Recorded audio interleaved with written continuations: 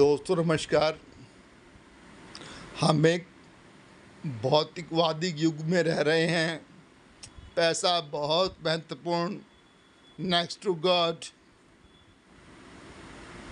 और कई बार हम लोग मदद करने के लिए या ब्याज की लालच में पैसा दूसरे को देते हैं।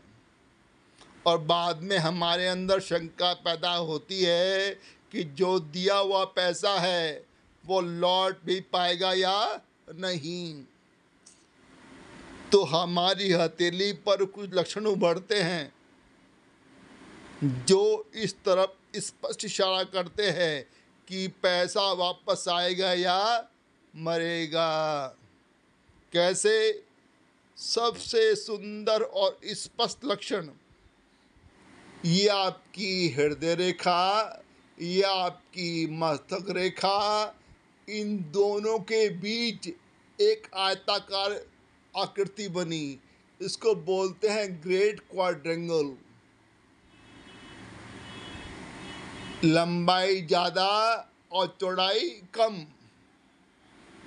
अब अगर गुरु पर्वत की तरफ़, जो इस क्वाड्रेंगल की दूरी है वो डिफेंसिव मार्च की तरफ़ वाले हिस्से के मुकाबले ज़्यादा है तो भी आपके पैसा मरने की प्रबल संभावना।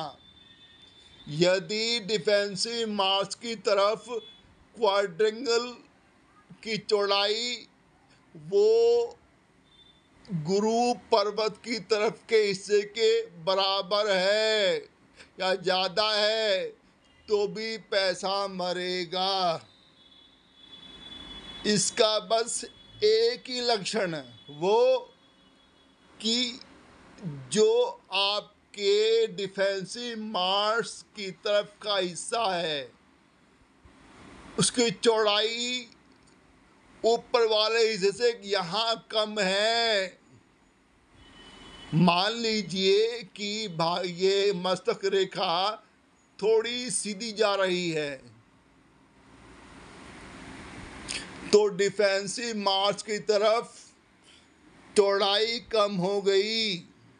यदि आपके हाथ में ऐसा लक्षण है कि आपका क्वाड्रेंगल डिफेंसिव मार्च की तरफ़ कम चौड़ा है तो आपका पैसा कभी नहीं मरेगा।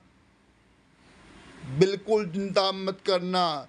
विलम्ब हो सकता है, लेकिन आपकी एक एक पाई वापस अवश्य ही लौटेगी। तो ये छोटा सा तथ्य आपका ज्ञान अर्जन अवश्य करेगा। वीडियो देखने के लिए आप सभी का बहुत बहुत धन्यवाद। Thank you.